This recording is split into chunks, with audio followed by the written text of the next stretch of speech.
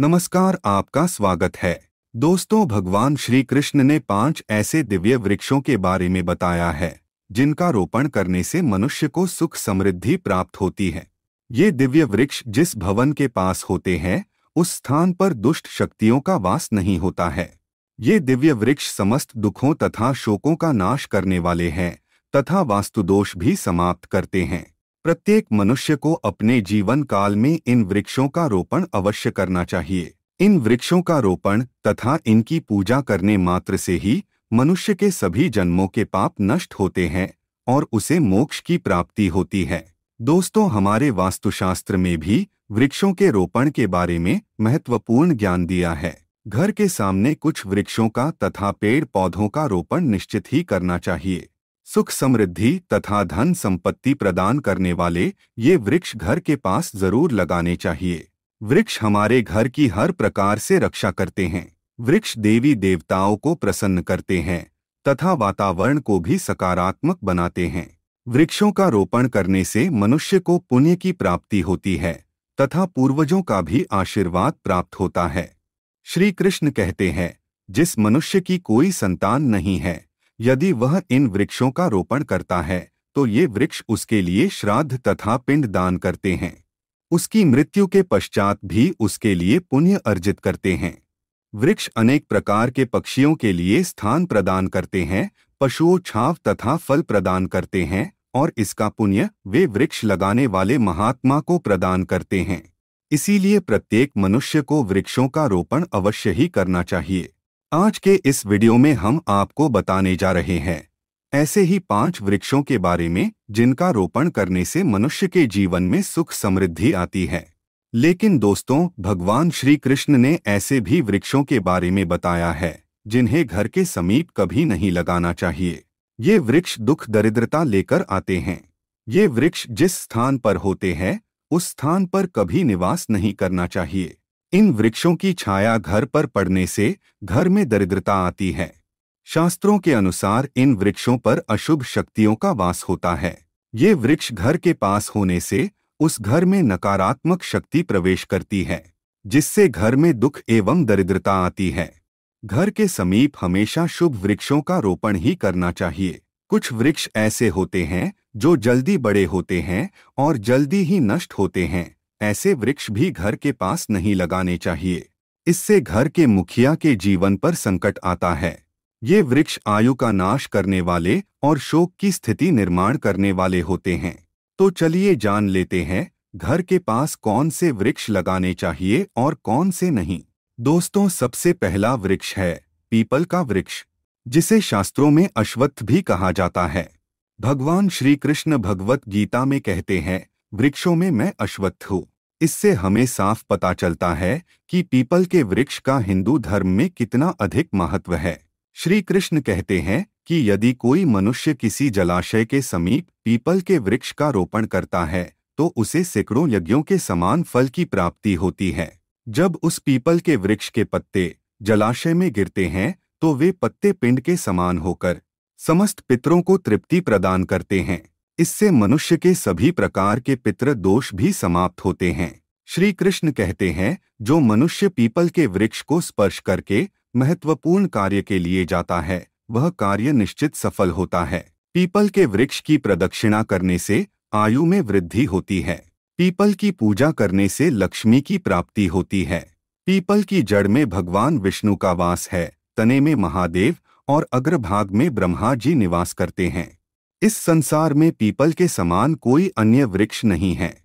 साक्षात श्री हरि पीपल के वृक्ष के रूप में पृथ्वी पर विराजमान है, इसीलिए इस वृक्ष की पूजा करने से समस्त सुखों की प्राप्ति होती है।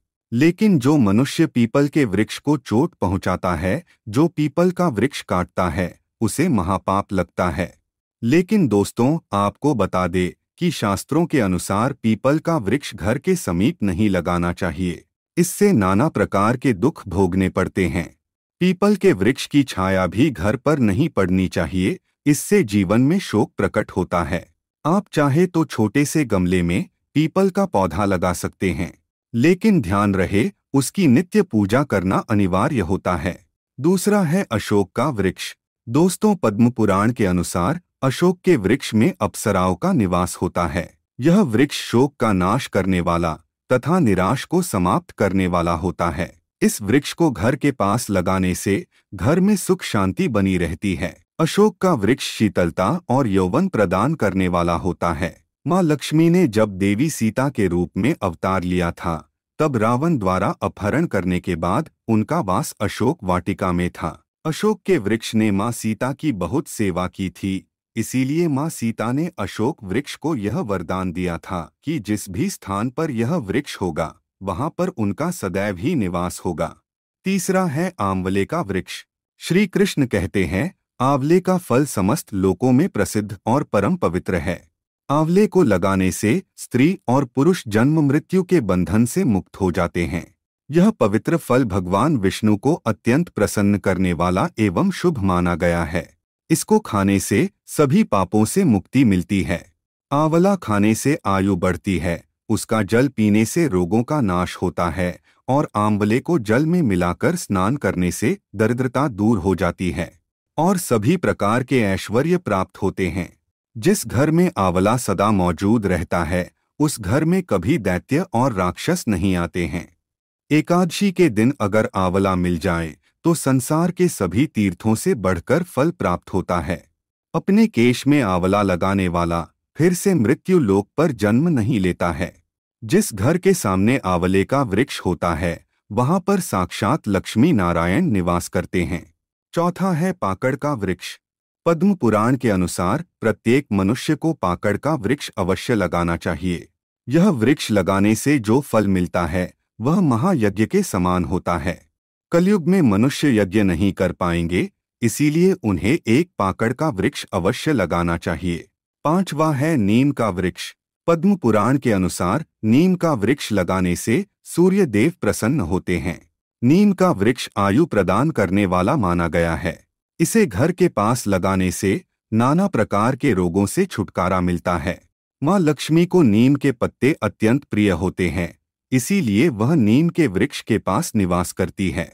घर के सामने नीम के वृक्ष का रोपण करने से धन संपत्ति की प्राप्ति होती है। छठा है जामुन का वृक्ष। यदि कोई मनुष्य कन्या प्राप्ति की कामना करता है तो उसे जामुन का वृक्ष अवश्य लगाना चाहिए। पद्म पुराण के अनुसार, जिस मनुष्य के घर के सामने जामुन का वृक्ष होता है, उसके घर में कन्या का जन्म होता है, जो कुल का गौरव बढ़ाती है। सातवां है बेल का वृक्ष। पद्म पुराण के अनुसार, बेल के वृक्ष में भगवान शिव और गुलाब में देवी पार्वती का निवास है।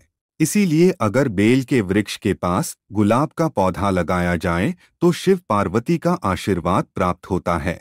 उस घर में कभी दुख दरिद्रता नहीं आती है। उस घर में कभी अकाल मृत्यु नहीं होती है और कोई स्त्री विधवा नहीं बनती है। आठवां है नारियल का पेड़। नारियल का पेड़ लगाने से पुरुष अनेक स्त्री का पति बनता है। नारियल किसी भी धार्मिक अनुष्ठान का आवश्यक अंग होता है। यह अत्यंत शुभ माना जाता है। घर के आँगन में नारियल का पेड़ होने से उस घर में हमेशा शुभता होती है और उस घर के सदस्यों का समाज में बहुत मान सम्मान होता है। सुंदर पत्नी की कामना करने वाले मनुष्य को अनार का वृक्ष लगाना चाहिए।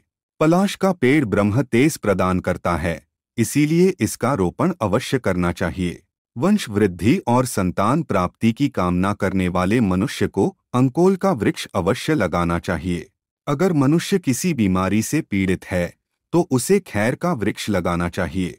खैर का वृक्ष लगाने से बड़े बड़े रोग नष्ट हो जाते हैं। यह वृक्ष आरोग्य प्रदान करने वाला होता है। कुंद अर्थात मोगरे के पेड़ में गंधर्व निवास करते हैं। इसीलिए इस पौधे का रोपण अपने घर के पास करने से कार्यों में सिद्धि और शुभ फलों की प्राप्ति होती है।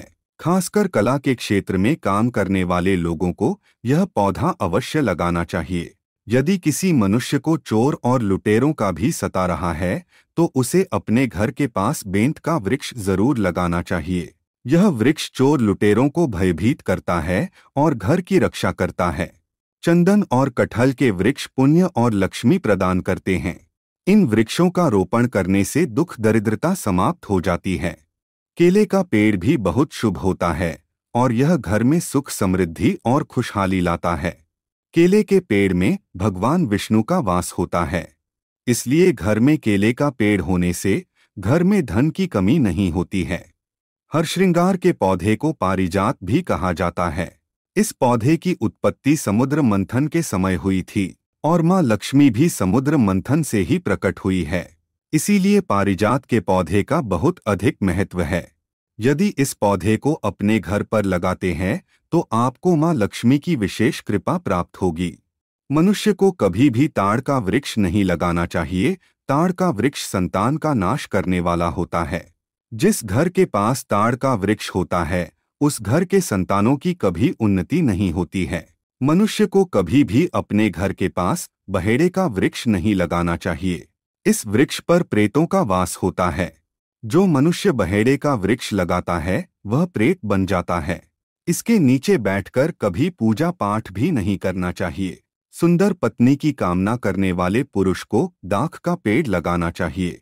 अगर किसी मनुष्य को शत्रुओं का भय सता रहा है तो उसे केवड़े का वृक्ष लगाना चाहिए। यह शत्रुओं का नाश करने वाला होता है। तो दोस्तों, इस प्रकार से शास्त्रों में इन पेड़ पौधों के बारे में बताया गया है। उम्मीद है आपको यह जानकारी अच्छी लगी होगी। वीडियो को लाइक ज़रूर करें। कमेंट में जय श्री कृष्ण अवश्य लिखे। साथ ही चैनल को सब्सक्राइब करें। आप सभी का धन्यवाद।